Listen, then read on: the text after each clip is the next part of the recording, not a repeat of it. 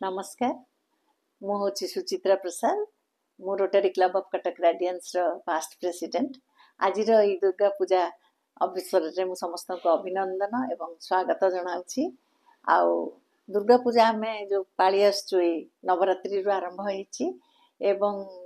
ଦଶମୀ ଯାଏ ଆମର ଚାଲିବ ଯେଉଁଟାକି ଆମେ ବିଜୟା ଦଶମୀ ବୋଲି କହିଥାଉ। ଆଉ ମୁଁ ସମସ୍ତଙ୍କୁ ଏଇ ଦୁର୍ଗା ପୂଜା ଅବସରରେ ଅଭିନନ୍ଦନ ଜଣାଉଛି। ଏ ଦୁର୍ଗା ପୂଜା ସମସ୍ତଙ୍କ ପାଇଁକି ସୁଖ ଶାନ୍ତି ସମୃଦ୍ଧିର ବିକାଶର ନେଇକି ଆସୁ। ଆଉ ସମସ୍ତେ ଏ ପର୍ବଟାକୁ ବହୁତ ଭଲରେ ପାଳନ କରନ୍ତୁ ଖୁସିରେ ପାଳନ କରନ୍ତୁ ଏବଂ ସମସ୍ତଙ୍କୁ ବିଜୟା ଦଶମୀର ଉପଲକ୍ଷରେ ପୁଣି ଥରେ ସ୍ୱାଗତ ଜଣାଉଛି ଅଭିନନ୍ଦନ ଜଣାଉଛି ଯେ ସମସ୍ତେ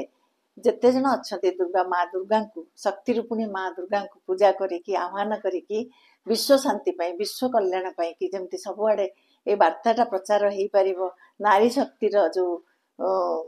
ମାନେ ପ୍ରଭାବ ନାରୀମାନଙ୍କ ଉପରେ ଯେଉଁ ଦୁର୍ଗାଙ୍କର ଶକ୍ତି ଯେଉଁ ଅଛି ତାହା ଆସୁ ଏବଂ ସମାଜର ବିକାଶ ପାଇଁକି ସେମାନେ କାମ କରନ୍ତୁ।